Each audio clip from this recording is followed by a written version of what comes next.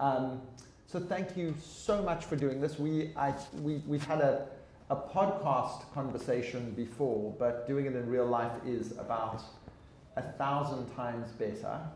Um, this is a book that has got an embarrassment of praise, um, and I, I, our agreement is that you're going to sort of kick off and give the kind of overview and synopsis with some cool slides, and then we're going to have a conversation, and then we're going to take your questions. So, um, why don't you kick off?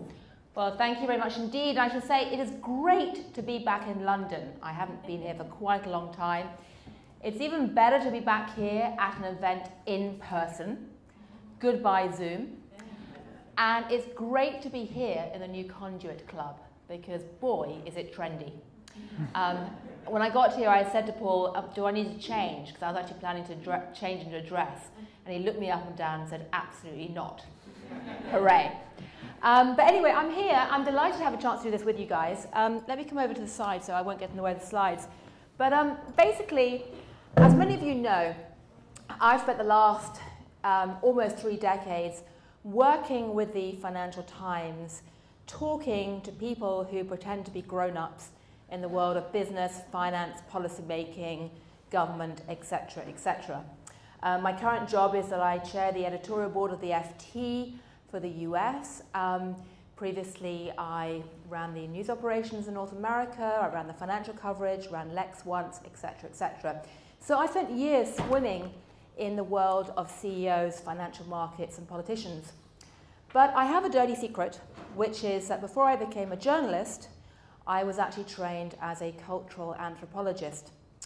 And I've spent many, many years with grown ups when they find out about my weird background, looking at me and saying, What?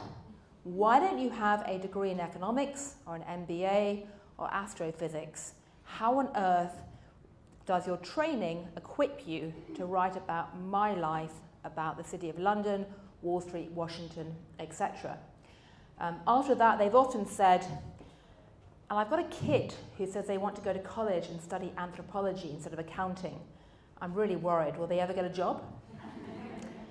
So I wrote this book to try and explain to people that yes, with a background in anthropology, you will get a job. In fact, I am passionately convinced is one of the skills that's really needed today as we try to build back better, think about how to build a better world, Think about how to cope with a world drowning in artificial intelligence, technology, etc., etc. I really think that cultural anthropology is one of the least recognized tools we need today. Um, but I also wrote this book to simply explain how and why it's informed me as a journalist in what I do. To give you a sense of, and, and also I should add, not just why it's informed me as a journalist, but why I think it can be incredibly valuable for people who work in finance, economics, business, law, tech, medicine, almost any area of life, and also why I think it's badly misunderstood. But to start off with a few pictures um, and just explain where I, am coming from. Um, I, this is me many, many years ago. Um, you're supposed to say I haven't changed. but anyway, I, I started my life off as um, an anthropologist. I, in fact, originally got into it because I had a gap year back in the days when teenagers still had gap years. These days they don't seem to because everyone's so insecure and anxious. But I had a gap year, spent a year working in Pakistan, subsequently spent a lot of time in Tibet doing academic research, and then went and did a PhD in cultural anthropology based in Tajikistan. Anyone here been to Tajikistan? Amazing, that's more than most people when I do these talks. Um, I, I won't ask how many of you can locate it on a map or can spell its capital city. But when I was there, it was the last year of the Soviet Union. It's just north of Afghanistan. It's basically very similar to Afghan culture, except they don't wear black veils. The women wear outfits like this. And I did a classic anthropological experience of living in a high mountain village for a year and a half with a Tajik family. That was part of the family. If you show the next, next slide. Um, living with them as one of the community um, and trying to understand what made them tick, what made them live life, etc., etc. Um, again, you can see me there.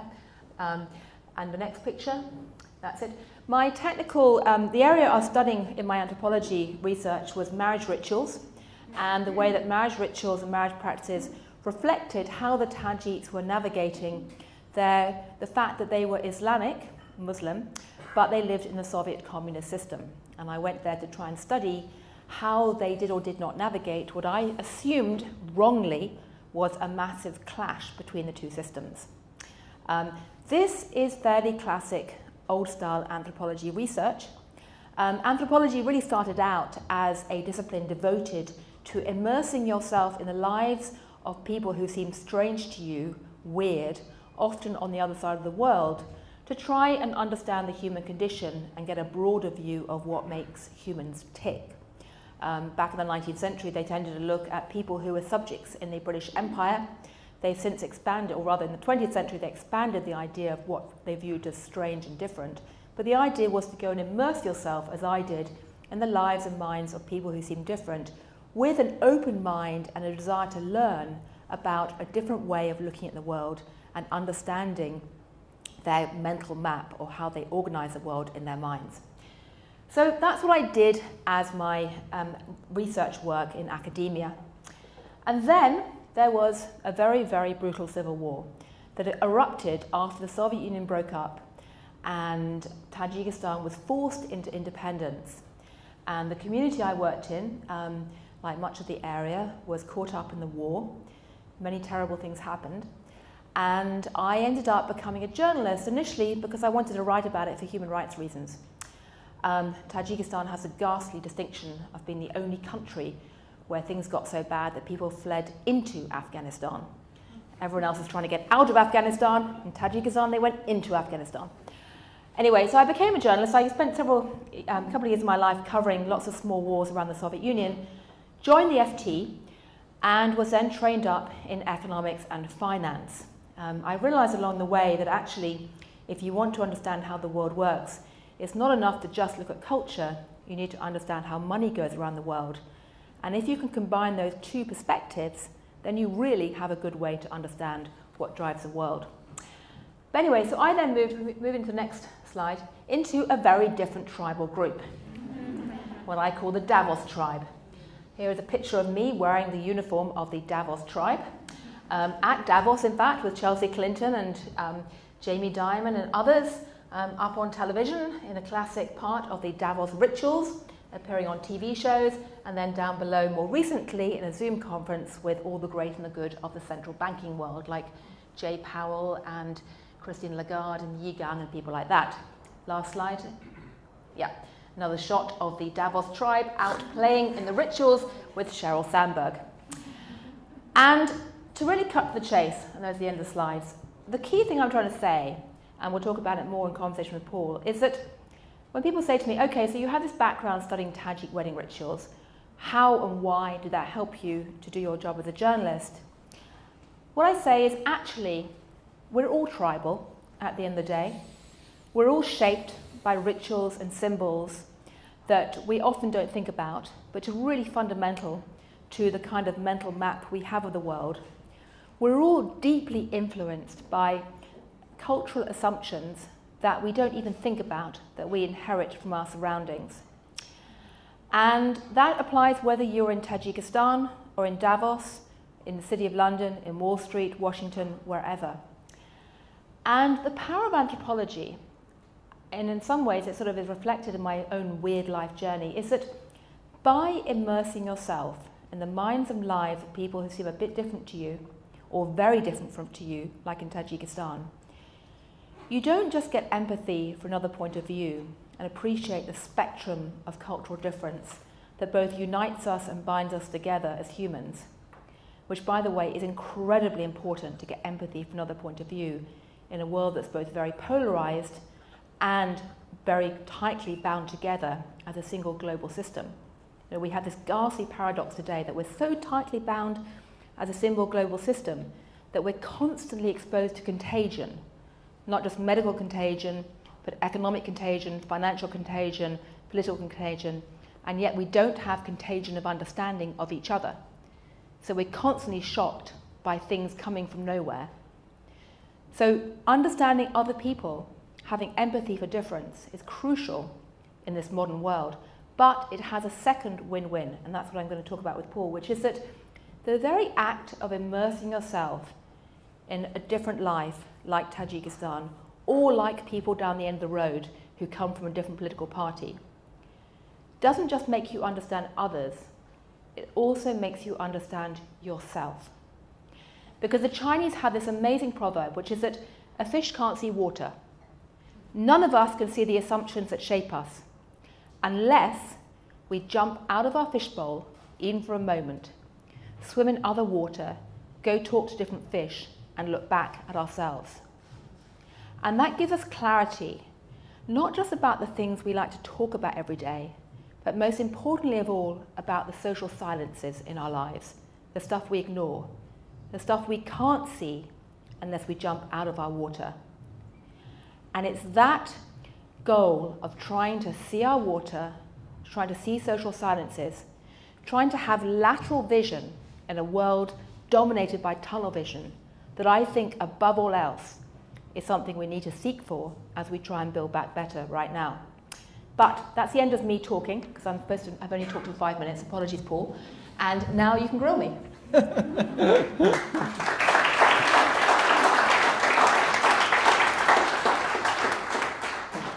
So those sorts of intros are always devilishly difficult for people who are going to conduct conversations because you have to kind of improv along the way. So I think the things that you said that were very interesting is the interplay between you, between culture and money is going to be a very interesting conversation if you're interested in social change. Because if you just think about money and you don't think about culture, you're not going to get the behavior changes you want. And if you just think about culture and you don't think about money, you're not going to be able to fund the, the, the behavior changes. Are you speaking you from personal experience? yes, exactly. Um, so you've said let's not have artificial intelligence, let's have anthropological intelligence. So we're going to dig in to see what mm-hmm. that, what that, what that actually looks like. So I want to start by taking the lens of an anthropologist to a set of questions about how citizens behave, how consumers behave, and build that up through the course of this conversation to start thinking about a program for social change.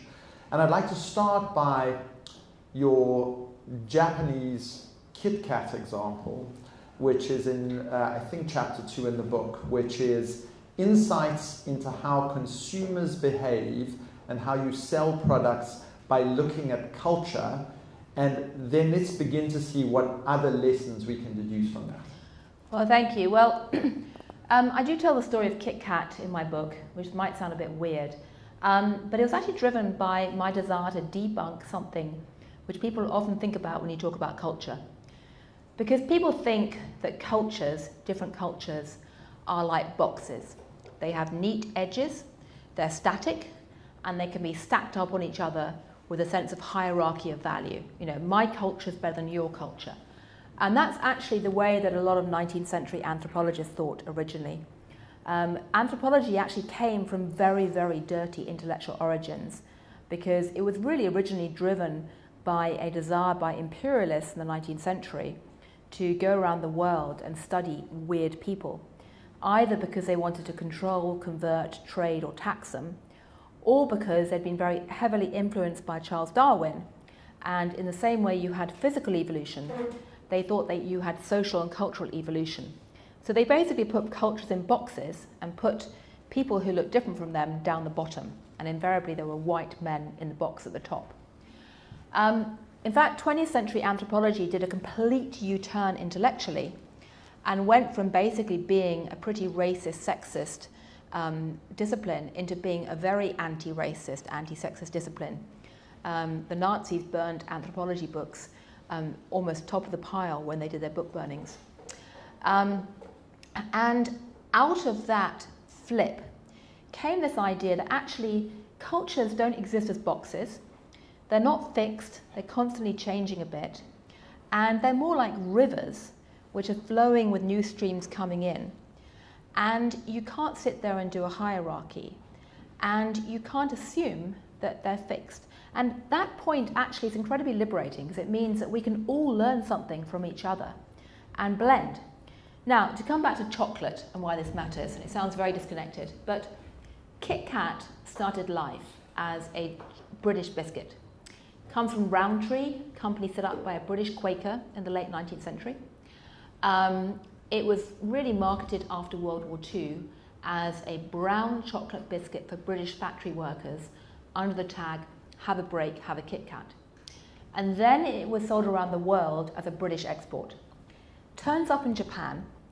By then, Nestle, the Swiss company, has bought Rowntree. And they notice at the turn of the century, it's not selling very well, that for some weird reason, sales of Kit Kat spike at, at New Year. And they dig into it and they realize that in the southern island of Japan, Kyushu, a group of Japanese teenagers had started a fashion for buying each other Kit Kats at exam time because the word Kit Kat sounds like a Japanese phrase, kitokatsu, which means we shall overcome or go for it. And at that point, you could have been, you know, like a 19th century anthropologist and said, gosh, those weird Japanese, they're clearly inferior, they don't understand what a chocolate biscuit is, let's ignore it. But instead, Nestle said, you know what, let's try and lean into this. So they started marketing Kit Kat bars under this tag of kitokatsu. And they lent into the idea that in Shinto religion in Japan, there's this idea of having prayer tokens for, for stressful moments. Within three years, half of all Japanese teenagers were giving each other Kit Kats at exam times as a what they call an omamori, a kind of prayer token.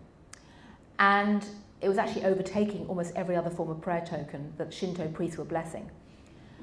Then they lent in even more and started creating Kit Kats that were flavored with wasabi, soy sauce, it's all true, Hokkaido potatoes, no, Hokkaido cheese, purple sweet potato, um, you name it.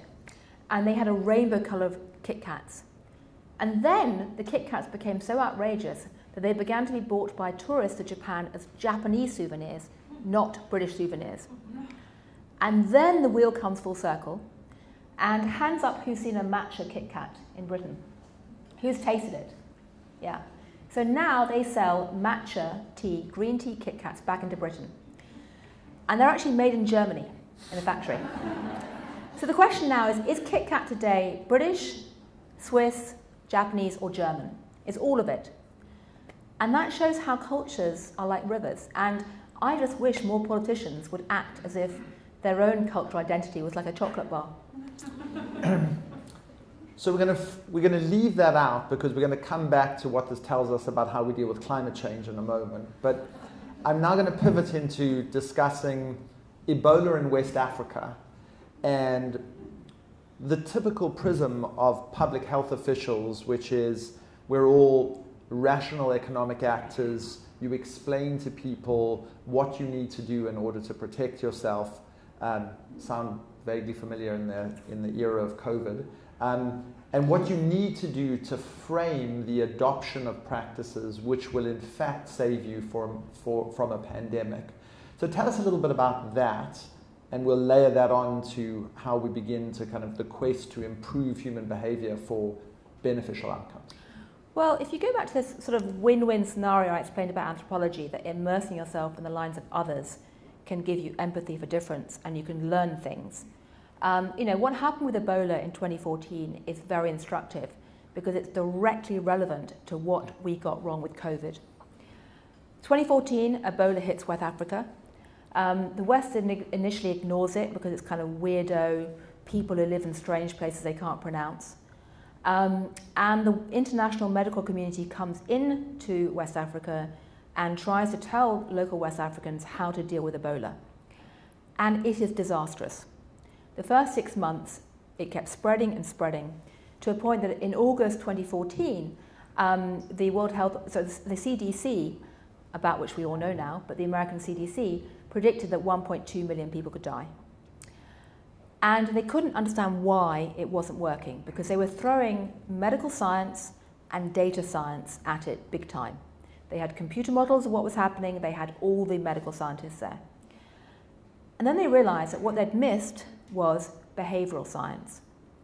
Because the way they were presenting the messages about Ebola were completely at odds with local culture, and the way that they were trying to fight Ebola directly ran into the face of local cultural traditions. Um, to give one example, you know, they kept building these um, centres to put people into um, for, and treat them with Ebola, and they had opaque walls. So the families of people who'd gone to these centres didn't know where they'd gone, and they couldn't see them. And so naturally they were terrified and didn't want them to go.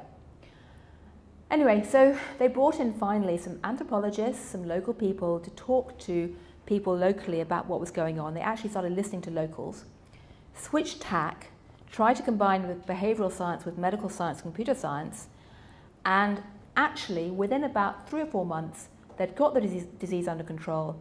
And in the end, about 25,000 people died, not 1.2 million. Really good news story in many ways. Now, fast forward to the beginning of COVID, and it turns out that people who were in charge of the UK government's own COVID response included people who'd been at the heart of the British aid programs in fighting Ebola and had actually written papers about the need to blend social, medical, and behavioral science. Sorry, blend computing, medical, and behavioral science. So you would think that at that point the British government would stand up and say, wow, why don't we try and learn some lessons from what's happened with Ebola? Or why don't we try and learn some lessons from what happened in Asia with things like SARS? Didn't happen. Neither the UK government nor the US government spent much time looking at what other countries had done in that respect. And this fundamental message about the need to blend computer, um, medical, and social science was largely discarded because, as everyone in the room knows, the opening weeks and months of the whole COVID saga were not a period when the messaging around COVID was consistent or particularly sympathetic or even culturally in tune with what people wanted to know. People in the UK didn't sit there and say, you know what, we have this amazing network of NHS medical centres. We have probably the best network of community centres anywhere in the Western world. Let's use that to get the messaging across. Instead, it was top down. And it really was a story about missed opportunities. So, again, one of the messages in my book is that if you try and learn from other cultures and other peoples, don't treat them as weird, and actually try and show them respect and humility instead of hubris, you can often get a lot further. And one last thing I'll give you, one tiny example is anthropologists had studied mask wearing in Asia in great detail before COVID, and they knew that the power of a mask doesn't just lie in the physical barrier it presents to germs. You know, it stops germs physically, but actually the ritual of putting on a mask prompts you to change behavior. It's quite important psychologically. And it's a cultural signal to show that you actually want to uphold the norms of the group and have responsibility for others. So the signalling and psychological impact is actually quite important for behavior change as well as the physical side. That lesson was written out in detail before COVID. Um, if only people had realised that earlier, maybe Boris Johnson wouldn't have been so careless with his mask wearing in the early months. There's an entire PhD thesis to go down this rabbit hole, but will, I will resist.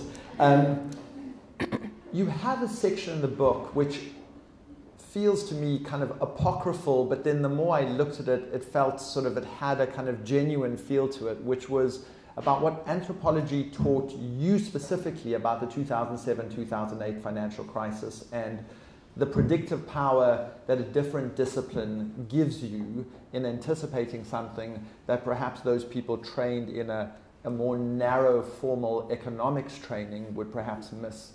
So tell us about that. Well, very briefly, because I know I've spoken at too much length, but um, this story really starts in 2005 when I went down to Nice to the European Securitization Forum's annual meeting, which is full of financiers who at the time were doing securitization and CDO, CDS, all these financial products.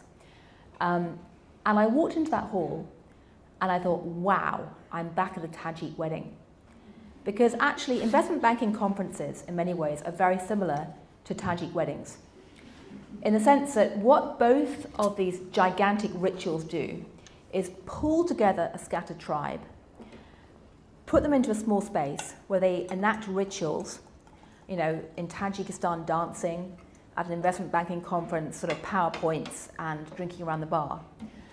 You recreate social ties, and most importantly, you reflect and recreate a shared worldview with social silences. And so I sat down in this hall surrounded by all these investment bankers engaged in their gigantic ritualistic fest. And I looked at the PowerPoints and what they were doing, and I thought, wow, there's a whole bunch of things that their rituals are signaling. Um, one of them was that they were essentially a tribe set apart. They had a very strong sense of their own tribal identity. They were all members of the Bloomberg Village, which is basically a group of people who can talk to each other by membership of a Bloomberg email group. They all have the same sense of history, defined by a Bloomberg chart, with 10 years of history on every chart. Um, they all have the same news feed. But this particular group, the securitization tribe, had a very strong sense that they were pretty elite because they spoke the financial equivalent of Latin, um, basically CDO jargon that no one else understood, and that gave them power. So they were set apart. They had a very strong sense of their creation mythology, which every professional tribe has a creation myth. And their creation mythology was all about the cult of liquefaction. And by that I mean that they passionately believed that if only they could create perfectly liquid markets for everything, where everything could be traded, the world would be, would be wonderful. And there were numerous holes and contradictions in that theory, like the fact that they were creating all these new products called CDOs, which were supposed to be all about creating perfect free markets in a mark to market financial accounting system. But they were so damn compli- complicated that no one could actually trade them. So you had to use rating agency models to get prices. If, I mean, know if, anywhere, if there are many financiers in the audience, but if there are, you know what I mean. Um, they said that they were doing this whole exercise to spread risk and make the system less risky, and the techniques to spread risk were actually introducing new risks and making it more risky. But they had this whole theory about you know, what they were doing and creation mythology that they believed. But the other point was that they actually kept saying, we're doing this to help people, and it's to make it easier for people to borrow money. And all their PowerPoints had only pictures of equations and Greek letters, and there were no faces. And I realized that they regarded finance as a kind of abstract physics experiment that had become very detached from real life in their own perception of it. And there's a wonderful scene, if any of you have seen it in that movie um, based on Michael Lewis's book, The Big Short, where the hedge fund traders go down and meet a pole dancer in Florida and realize she has a subprime mortgage or several subprime mortgages. And they kind of go, Holy shit, you're doing that? And what's amazing about it was not that they were surprised by what she was doing, it was the fact that so few financiers in that time were actually seeing the end point of their financial chains. So I sort of came back from that conference and said, well, this is really fascinating technology and very exciting innovation, but it's basically in the hands of a small group who are facing almost no external scrutiny. Their own bosses have no idea what they're up to. Um, and there are very few controls on what they're doing, and it's kind of detached from wider society. There's no reason why it wouldn't spin out of control. Um, and that really set me on a path of trying to, you know, look into what was going wrong, and eventually, you know, I sort of wrote all these pieces saying that a crisis is coming. Um, but it really came down to Tajik wedding rituals and how they're linked to investment bankers. Finally, and by the way, I should say, I, I still feel passionately all of you, if you go to professional conferences in your day job, um, well, when you go to professional conferences next after COVID in your day job, um, have a look around and think about the cultural messages that are embedded in what you're doing. And then think about what is not being talked about, the social silences, because that's often more important than what is talked about. We're about to do that. But uh, the other thing is try and get invited to a Tajik wedding. That's, that's, that seems to me to be a, a a takeaway from your book. Um, okay, so social silences. Um, the fourth and last of the anecdotes before we're going to kind of move into problem solving. Um, you talk you talk about in the book about it's not so much the data we get and the observations that we acquire by looking at things. It's the data that we don't get, the silences that we miss, and the data points that are hidden but which actually reveal greater truths that tell us a much more. And so I guess I'd like to hear from you a few of those anecdotes, but why you think, in particular, anthropology draws you to hidden data and silences in ways that other disciplines don't. Well, one of the things that anthropologists believe is you have to try and take a connected, holistic view of the world. You look at the world bottom up. You get a worm's eye view, not a top, down, not a bird's eye view. Um, and you try and spend a, much a lot of time thinking about what people don't talk about, not what they do talk about. So it's the things that weren't on the PowerPoints in the banker's presentation that was interesting. Um, or to use a completely different example, um, teenagers and their cell phone usage. There's a wonderful um, anthropologist called Dana Boyd in New York who's worked for a lot of tech companies who did a study a few years ago on why teenagers are addicted to their cell phones, which is, you know, an issue we're all grappling with if you have teenagers. And most studies look at this in terms of the teenager and the cell phone and the algorithms and the technology and within the framework of tech. What she did was say, okay, let's look at teenagers in their everyday lives and their physical experiences.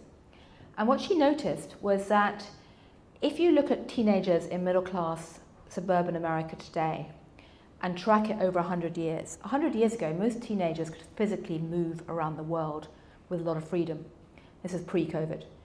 Um, and, you know, even 50 years ago or 30 years ago, they were cycling to school, they were meeting down the back of the bike sheds, they were walking around streets, they were bumping into each other without parental supervision and control. Parents didn't know where they were.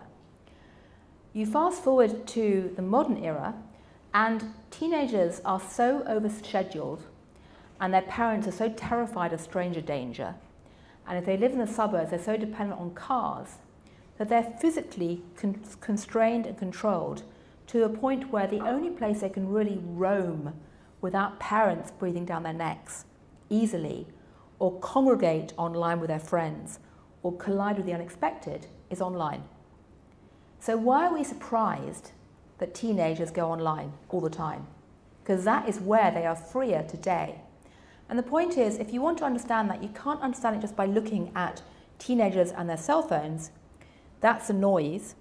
You have to look at the silence, which is the physical world people don't pay attention to. And, you know, I can go on for ages about that, but that pattern plays out over and over and over again in almost every area of life and almost every business, area, business problem that you want to solve. Another completely different example um, there's a whole section in my book about General Motors, which hired an anthropologist to go and work out why things kept going so badly wrong inside General Motors. And one of the things she did was to try and work out why the unions kept fighting with the management. And she realized that, you know, she realized, in fact, the union workers were hiding parts on the assembly line in their lockers because the system for making cars was so insane and the demands on them were so contradictory that the only way they could cope with it was to hide the parts in their lockers to actually meet their quotas. Again, that was invisible to the managers because that wasn't what on their minds when they were thinking about why the unions behaving weirdly.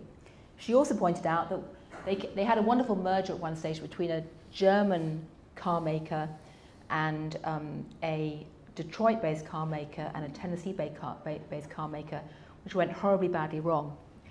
And they kept calling meetings to work out why it was going wrong. And they thought the problems were to do with the design of the car or language, German versus English. And then she worked out it was because the three different groups started off with different assumptions about what the whole point of a meeting was to begin with.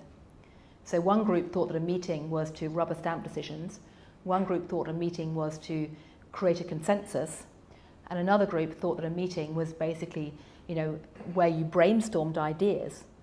And they all came into it with different ideas, but no one ever bothered to talk about the silence, which was what is a meeting in the first place. Um, so, you know, thinking about social silences, I would argue, is key. Okay, so about two weeks ago, I had a conversation on this stage with Jeremy Oppenheim, uh, co founder of SYSTEMIQ, setting out what was partly optimistic but partly bleak our prospects for getting to net zero by 2050 and therefore what we need to do, which is roughly halve emissions by 2030.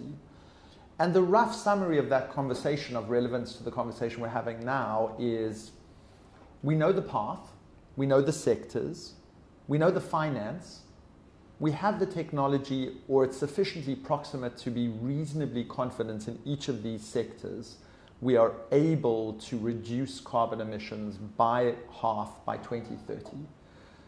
The challenge is really political slash cultural. And the greatest indication of that is if you look at the declarations that governments have made prior to going to COP, which is about to happen, we need to be collectively reducing by 50%. If you take them at their word, we're going to be 16% above current emissions by 2030. If you pause and think of that empirically, that puts us in a three plus degree world, which means large parts of this planet are uninhabitable. It's unimaginable, and a tipping point is on the way. Now, if you pause and think of that intellectually, you would say if we're all rational actors, we should be banging it out, carbon reducing every second of the day, and economically, every penny, cent, yen, euro that we put in to carbon reduction right now has an almost, almost infinite return because civilization's on the other side of it. And also, there's lots of good economic arguments to say what we're investing now would be good return. But we're failing to do so. And I think that what I'm interested in hearing from you is if you think about it anthropologically for a moment, we, we're biologically as a species used to things that are coming at us fast on a plane that's a saber-toothed tiger where the risk is immediate and is going to kill us. And we're terrible as a species at thinking of risks that are just over the hill, which are way more deadly than the tiger, but are going to get us when it's too late. And so what we have to spend all our time thinking about, and what I want to use the remainder of our time thinking about, is through the lens of an anthropologist thinking about culture and human behavior, what should we be doing to reshape and reformulate the quest for net zero in terms that are likely to cause us to change? Because the rational economic model ain't working, and it has to, in civilizational terms, work. So we need different disciplines and different ways of thinking to be brought to bear. And I think that's a really interesting conversation to have because I think your book sets us up to think about things in a, through a different discipline that might be more productive than the more rational discipline that thus far is seeming to fail to produce the solutions that are required. Well, thank you. It's an issue I spent a lot of time thinking about because one of the things I've done in the FT recently um, was about two and a half years ago, I co-founded a platform called Moral Money, which basically is a sort of newsletter looking at environmental, social governance issues. Um, I tell the story in my book about why I did that. Um, it wasn't initially a very easy thing to do, but um, you know, it very much came out of my anthropology sort of you know training. Um, I'm going to give a very quick shout out, by the way, to Simon, his, Simon Mundy, just over there, who's my colleague from the FT, who, as of about four days ago, came in as a new editor of Moral Money. Um, so you can blame him in the future if you don't like it. Um, but he also has a book I'm going to very quickly mention, which I think he's going to talk about, about climate change and business and innovation that's coming out in two weeks' time called Race for Tomorrow. So you can grab him afterwards and talk to him about it.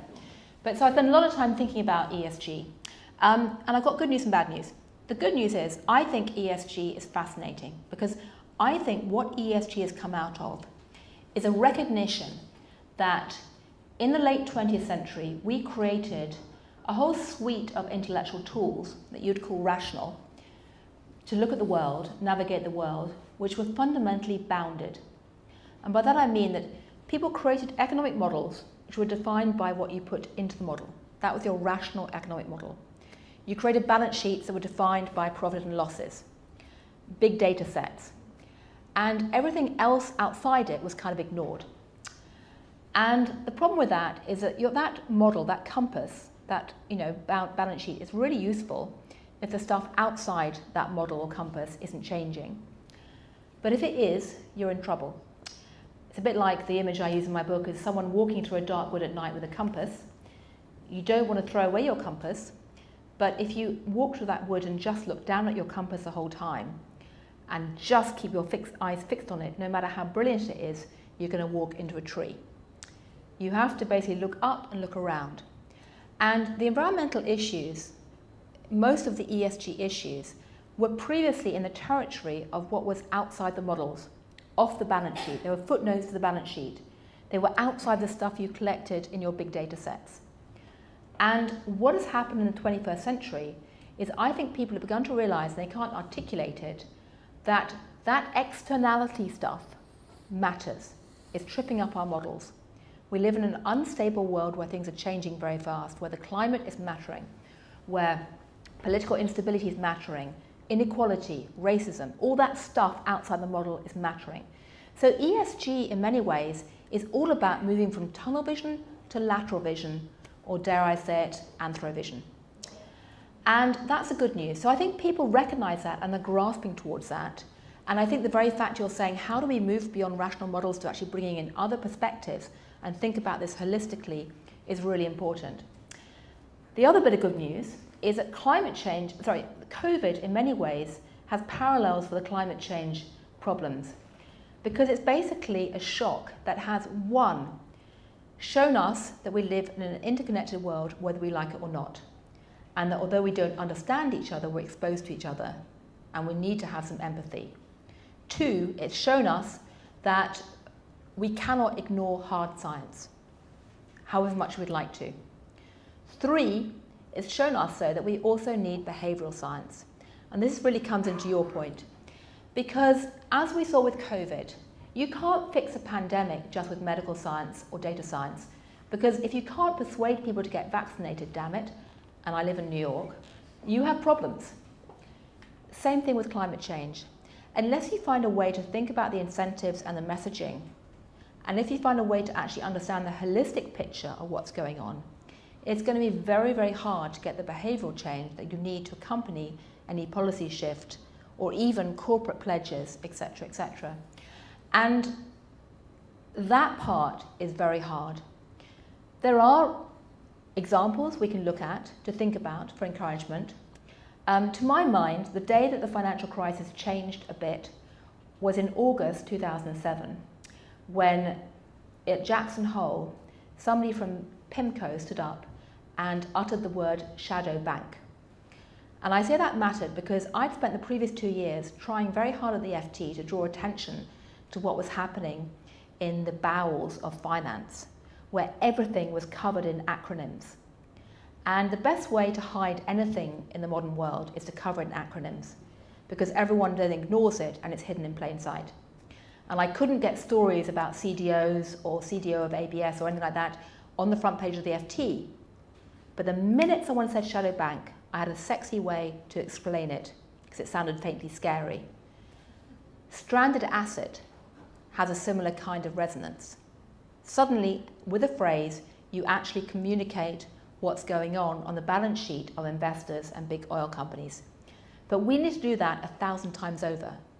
And it can't just be Greta Thunberg putting the fear of God into all these middle aged men we need to find ways to communicate the gravity of what's going on when it's wrapped up with acronyms and technical language and all of that.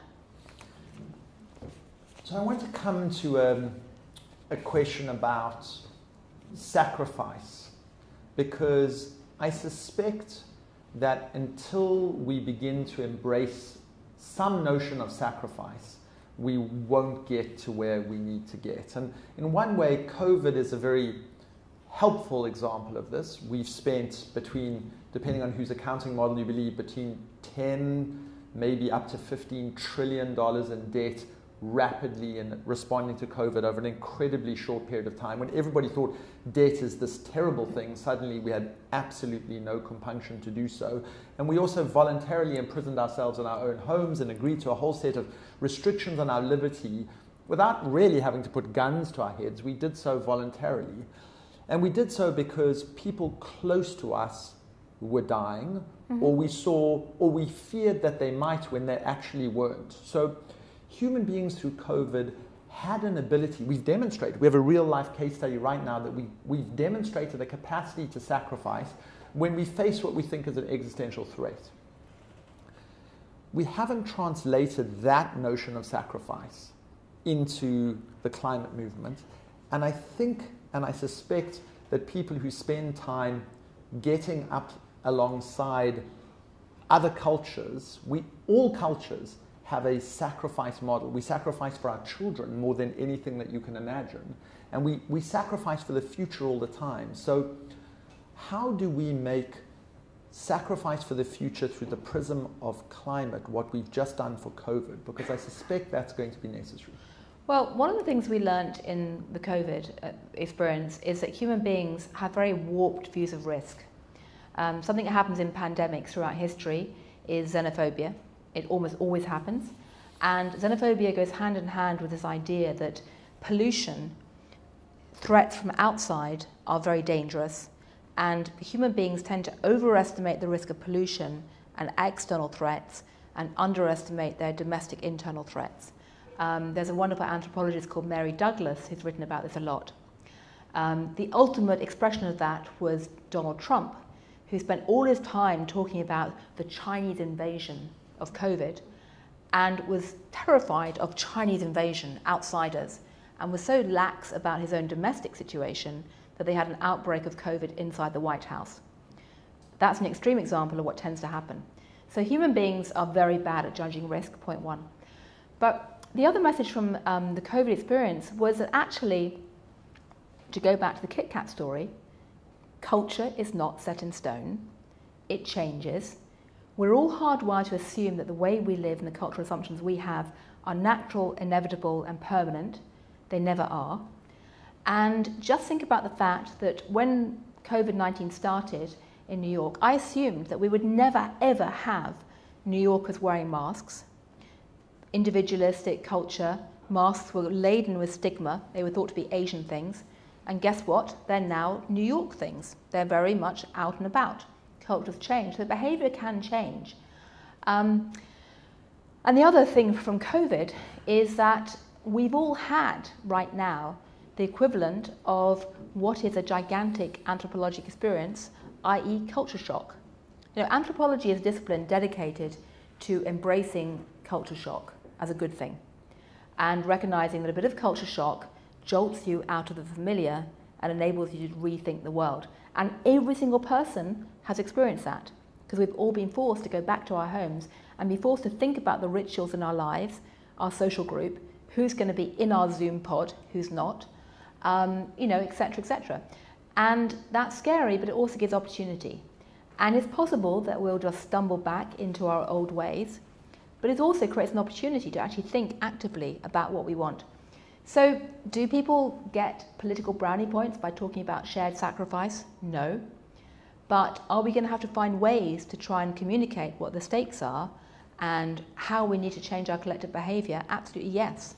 So that's a perfect tee to the next question, which is about you've said it multiple times, and your anecdotes and your stories have vividly illustrated the point about that culture is permeable, it moves, it's capable of being shaped, and almost always it is shaped by power and by authority. It can be state power, it can be corporate power, it can be soft power, but culture doesn't just change spontaneously, it is moved.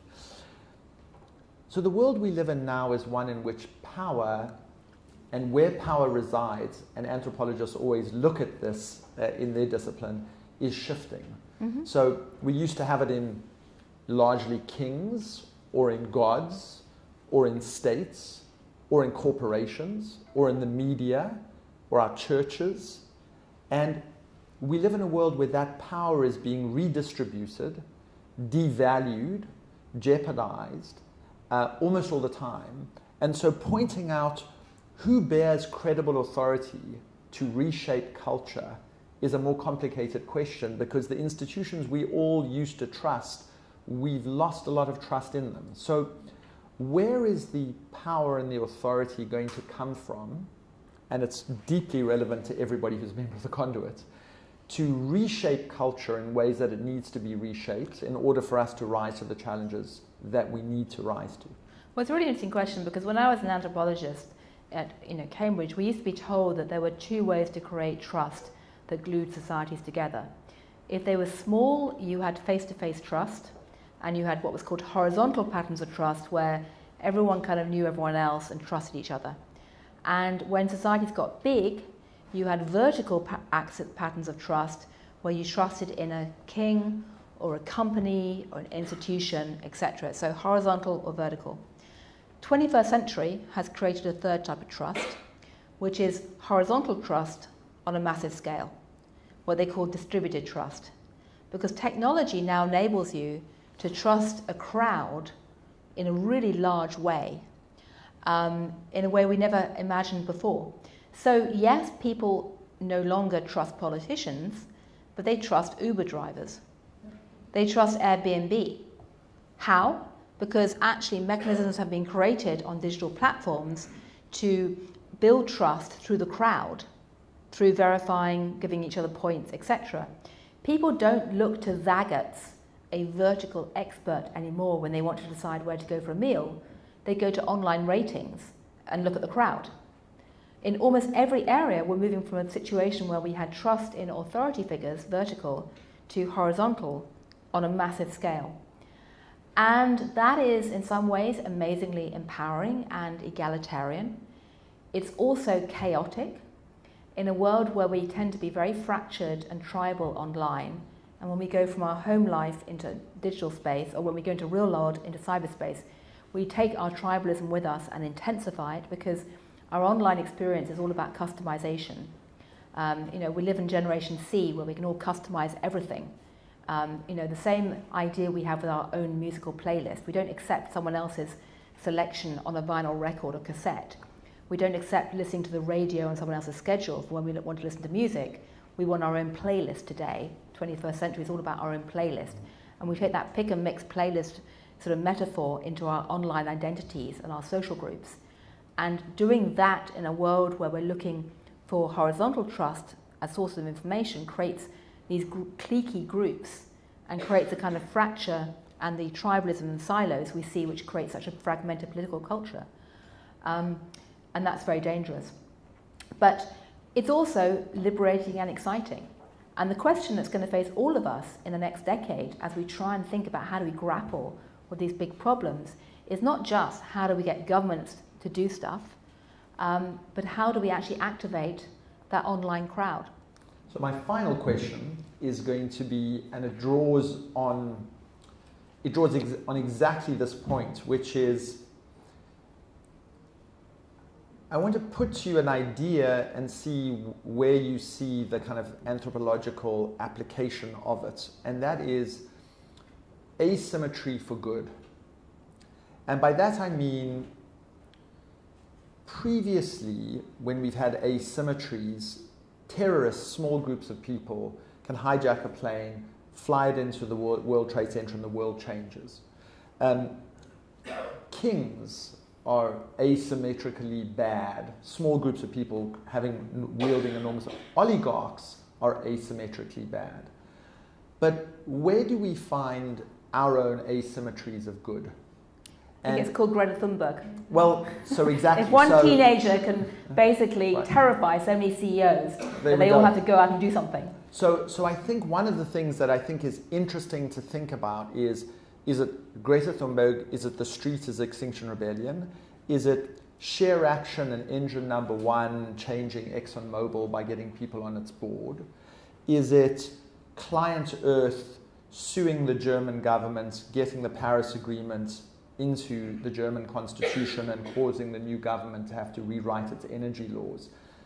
Client, ClientEarth, 20 million pound organization, Extinction Rebellion, a couple hundred people popping up in different places at different moments, grabbing our attention disproportionately, Scandinavian teenagers, small hedge funds taking positions on boards and changing the forces of, of corporate behemoths. And so I think one of the things to think about is where do we find those asymmetries that work in our favor that aren't always working in people who don't have an interest in the collective good? And might that give us some hints or clues about what we collectively as a community could be doing? Well, I think right now you need both. Um, I think, and this is, well, I won't give you a lecture about climate change, but briefly, you need catalysts like Greta Thunberg, but you also need coordination. Um, because you're at a very interesting moment in, right now in terms of the climate change debate and sustainability debate for two reasons. Firstly, that if you, if you dial back five years, governments were being asked to lead the fight against climate change. What's actually happened since then is that in many ways, civil society and companies and finance have generated a sort of level of energy that in some ways is pushing the debate forward almost ahead of government sometimes. And what's needed today, though, is actually not so much governments to lead, but governments to follow, to nudge, to coordinate, to recognize where you have big market failures, and to be intelligent and proactive and act. So, for example, what everyone's living with right now is the fact that you know wind turbines are a fabulous thing, but they haven't been um, designed to basically you know fill in for the decline in fossil fuel production for energy sources. That was pretty obvious a year ago, and it required something other than relying on markets to jump in. You know, I could go on and on about that. The other interesting thing, though, which I am fascinated by because of our moral money coverage, um, is that originally ESG and climate change activism was really driven by a small group of social activists and companies and financial groups who wanted to actively change the world. You know, they were mostly Danish pension funds, um, you know, some charities, etc., etc. Now, many of the people getting involved are not so much trying to change the world or do no harm to the world, they're trying to do no harm to themselves. Because ESG has actually become, as much as anything, a tool of risk management and self defense. Because companies and corporate leaders and financiers are trying to protect themselves from reputational risks, the risk of losing their employees, their investors, their customers, the fact, the risk of you know having regulatory problems, etc. And you can sit there and say, you know what, that makes the whole thing total BS. It's hip- hypocritical. Um, it's all about greenwashing. Or you can say, you know what, it's a sign that the zeitgeist has changed. Because when I started off my career covering real life revolutions in the Soviet Union, what I quickly realized was that revolutions succeed not when a tiny minority of activists shout, but when the silent majority decide it's riskier to oppose something than to go along. And that has been the tipping point for ESG in the corporate world in the last few years. That actually, the fact that corporate boards are saying, we better have a strategy because if we don't, we're going to kind of look stupid, or we're going to get Greta Thunberg yelling at us, or my teenage kids who like Greta Thunberg will be yelling at me at home. The fact they're doing it out of that shows how zeitgeist can shift. So to go back to where I'm started, it's fantastic that culture can change. Therein lies an amazing opportunity for us all. It's happened within our own living memory. We can't remember what the zeitgeist was like 15 years ago when CEOs weren't talking about this stuff. It is not sufficient as an answer, but by golly, we can celebrate it. And somehow we have to harness that bring together the catalyst and the coordinators and actually try and get some real change in the coming years. Absolutely fascinating. I think a round of applause is due.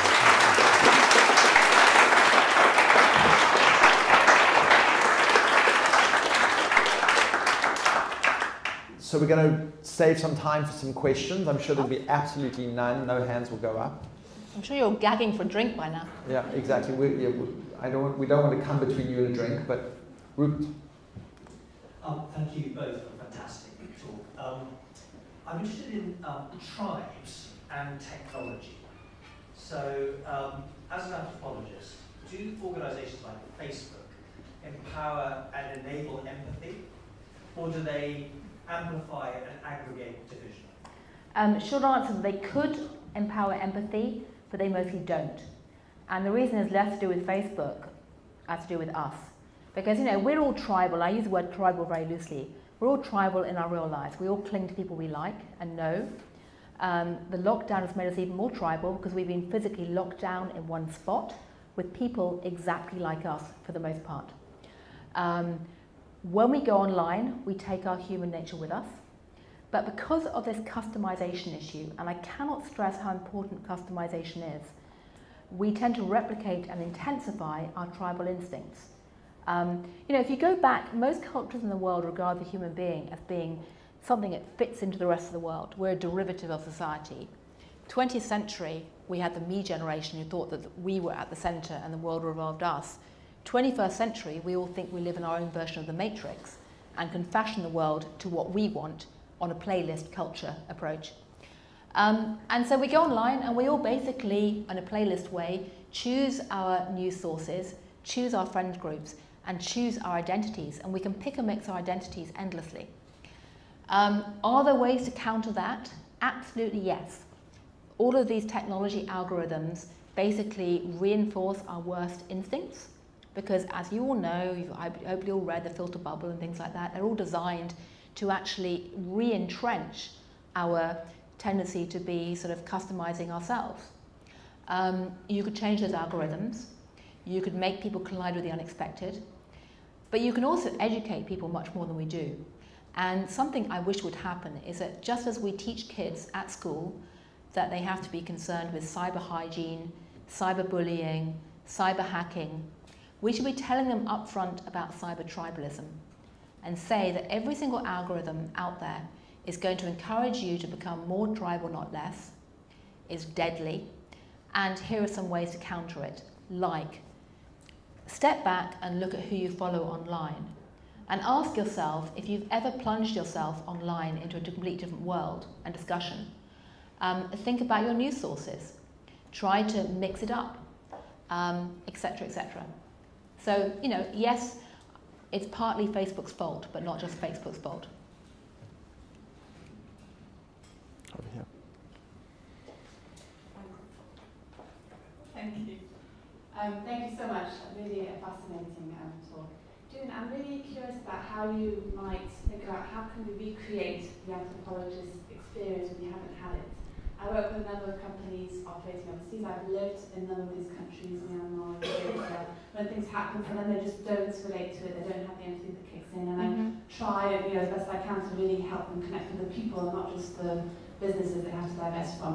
How can we do it for the future in terms of climate change? We need to be empathetic to the future generations. And what can we learn from the experiences today as we create that antibiotic experience overseas um, that we can maybe use in terms of viewing it from people's perspective in the future? It's a really great question, and you know, COVID 19 and lockdown has in many ways made it harder because we've been physically locked down.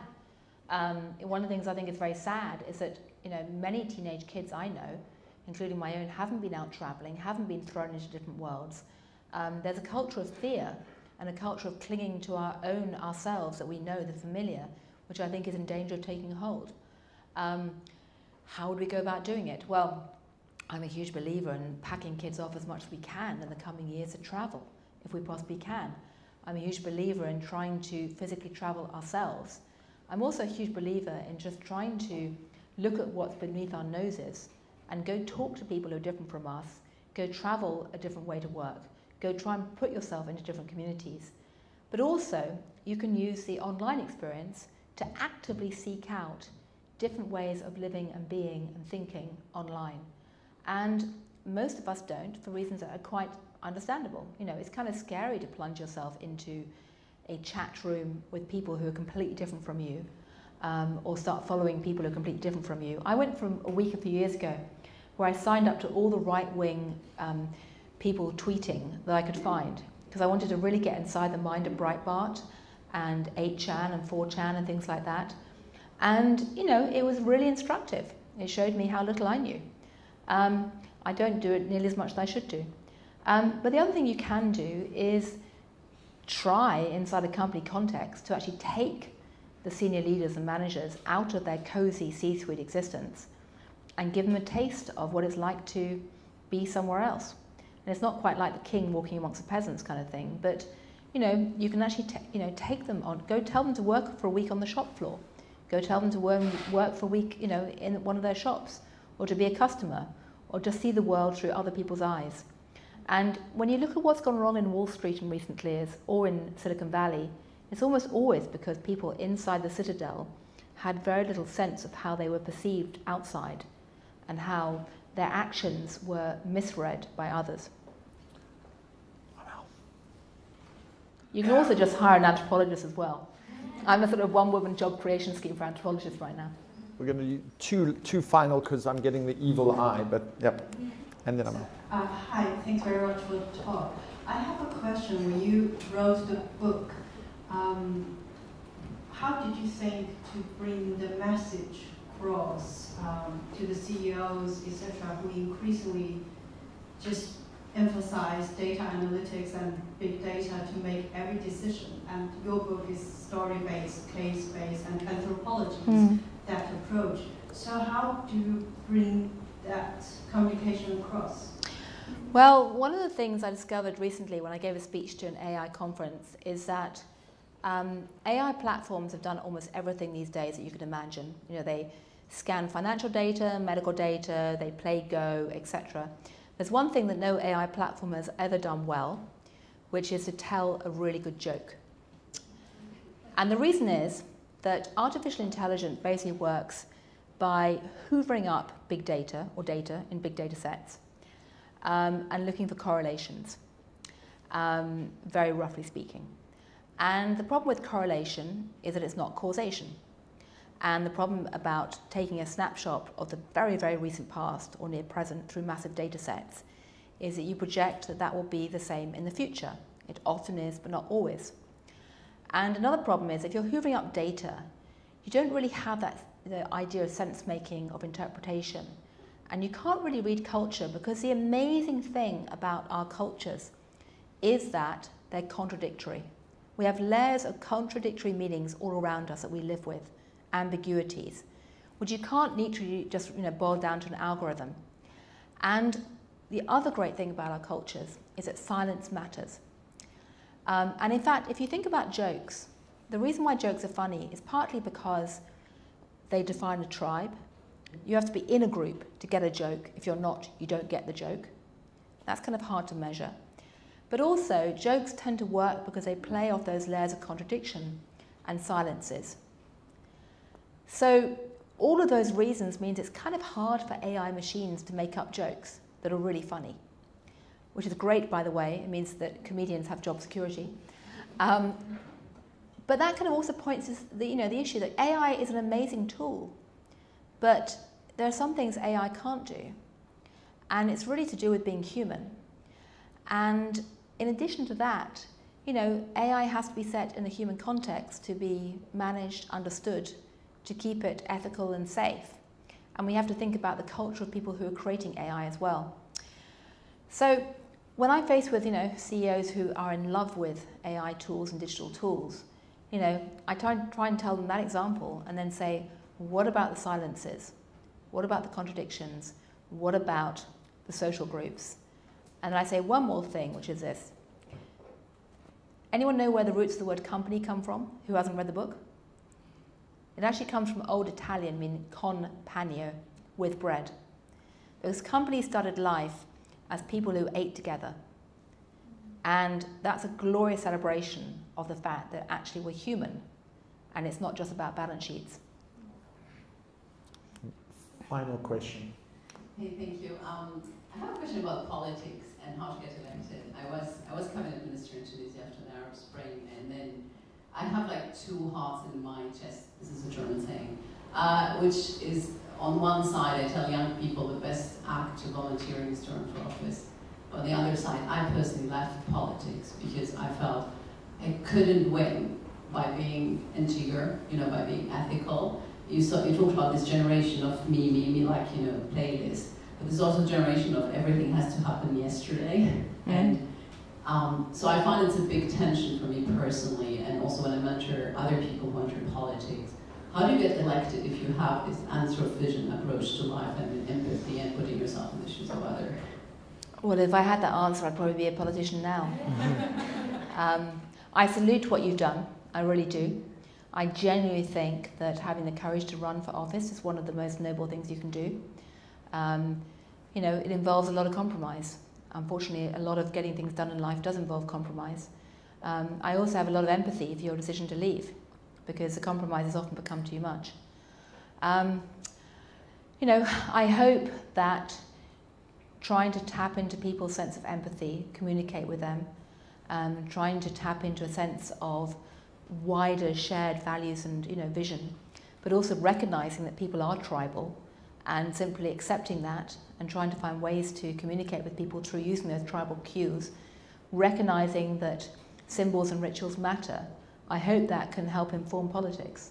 Um, one of the reasons why Donald Trump was such an effective politician in some ways was because he recognized that communication is not just about words, it's about performance. And he tapped into a performative style which resonated with part of the electorate and completely baffled the other part. Um, I, again, I write about this in the book and how he borrowed the, the performative approach of wrestling for his political campaign, which people who were elite didn't understand, but many voters did instinctively. Um, so actually realizing all of those points is you know, really important. And the last point I'll make is that one of the other messages of, of anthropology is recognizing that just because you think a certain way, you can't assume that everyone else does too. Um, you know, media in 2016 made that mistake with Donald Trump because they thought that because they thought in a certain epistemological style that this was the way the world worked, that everyone else must too, and they misread Donald Trump's appeal because of that. But conversely, to be a good politician today, you need to recognize that just the way that you think can be different from others and have the ability to listen and be surprised. So there are two things I love about uh, our new home. The one is that you get to play out with Pineapple Studios, uh, rocking through the wall while Gillian Tett talks about anthropology. Um, and the second is that you guys show up uh, and that we're able to have thoughtful, deep, interesting conversations about how to make the world more sustainable and more just. And there's a high probability that people in this room will continue to do so. So thank you to you for being here. Gillian will sign books in the back, but I encourage you to go to the third floor because it's cool and groovy and there's good cocktails. And um, we'll continue seeing you again um, in the weeks and months ahead. Thank you.